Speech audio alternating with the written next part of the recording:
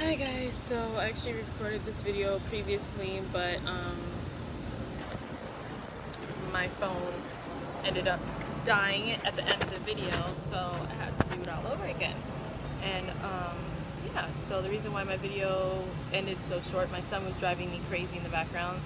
I was planned on posting another video, but yeah, I'm lazy sometimes, and I don't like a camera in my face 24-7.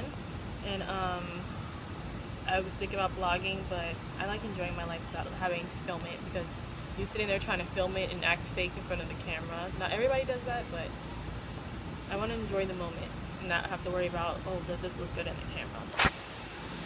But even though I wrote the post, I wouldn't care at all if it looked good in the camera or not. Sorry about that. And um, yeah.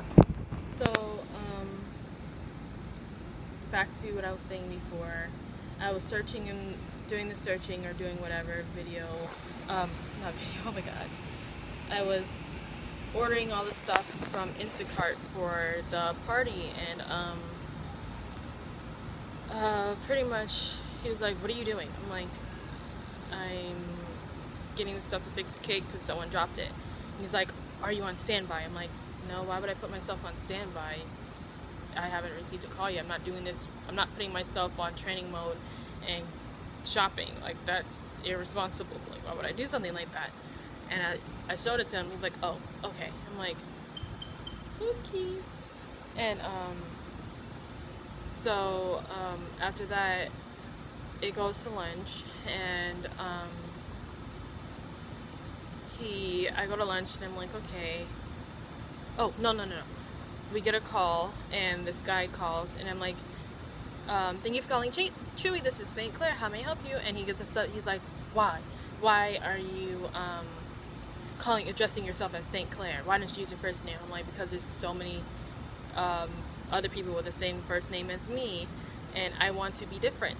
Um, I want to, if I do something wrong, I want them to call me on it and not sit there like, oh yeah, so and so. There's so many people with my first name that I they want me they will just say yeah we'll talk to that person about it and they never do so I use my last name St. Clair so if I do something wrong they say yeah talk to someone named St. Clair and they can come talk to me about it and um it's like well you need to use your first name for now on I'm like okay but I remember the first day of training they said that we can't use a fake name a nickname but we have to use our name and St. Clair is my name it's on my birth certificate so and so I was like okay so we go off to lunch and I'm like enjoying my lunch, talking to everybody about what we're gonna do for the surprise party. I can't wait for it. And um, um, two things happened with the cup. Two things happened. I'm not sure if I mentioned this before with the cake, but on the way to work, um, I had someone driving the car, and something always tells me told me like, hold the cupcake, something bad's gonna happen. I was like, nah, it'll be fine. And she hits speed bumps so fast, like you don't understand. She hits every speed bump like she's in freaking Dukes of Hazzard, and the cupcakes go flying. I freak out. I'm like, you gotta take this back. You have to fix this now, now, now, now, now, please, please, please, please, please. please. And she's like, it's fine, it's fine, it's fine. And then I'm talking to one of the girls that picked up the cake for me, and I hear her say, oh no, no, oh my gosh, no, and the cake drops. So that's why I was shopping for stuff online, and um, to fix that cake.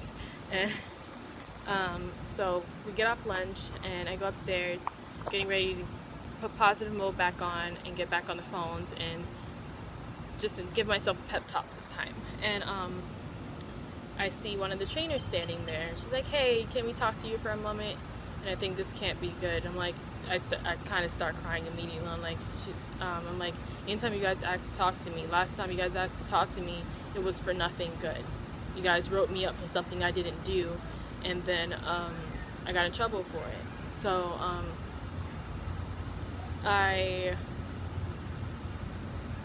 um, I go in the back, and the lady that came in the room last time was there, and she's like, "Well, we're gonna have to let you go." I'm like, "For what? I didn't do anything." They're like, "Well, we've had a couple of complaints, and um, we just think that." Not complaints. They never even said complaint. They just said we don't think you're fit for this company um, you're a great person. I'm like, what? I'm like, this doesn't make any sense. Like, what did I do wrong? And they wouldn't name what I did wrong. And, um, I'm like, this doesn't make any sense. Like, what did I do wrong? They wouldn't, um, they wouldn't say anything. So I'm like, okay, is it because the last time when I tried to ask all the people why did I get in trouble for something I didn't do? Or the fact that I was going to HR and asking questions and they wouldn't they wouldn't tell me. And um um this one thing is that they have this policy called an open door policy that you can talk to HR, but it actually really isn't there.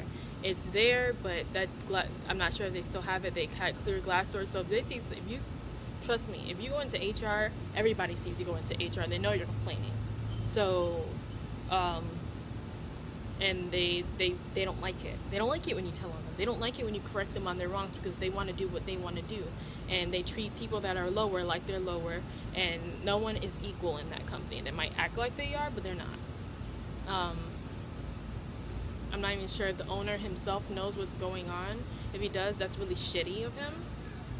But if he doesn't, he really needs to like take a look back at everything because they let go a lot of good, bubbly personalities and amazing people, and um, just kept the ones that they favored the most. It's like the only way you can stick in that company is if you know someone there. The only way you can get up is if you know somewhere to befriend someone, and it's really not fair. It really isn't. Um, I had family members that worked there, and they said the same thing. They, my family member quit because of how she saw everything, how everything went down, and um, I was like, no, it can't be like that. And I really gave the company a chance, and they honestly let me down as how they treat their employees, and it just felt unfair to me because the fact is like, well.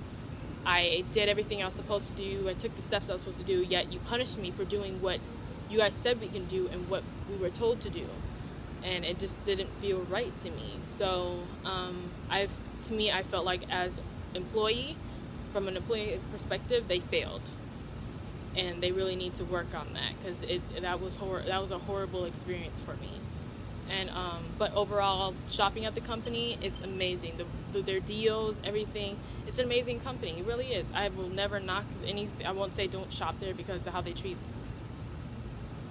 ignore that. um, I wouldn't say don't shop there because they as the way they built their company, it's amazing. But how they treat their employees, I don't agree with it.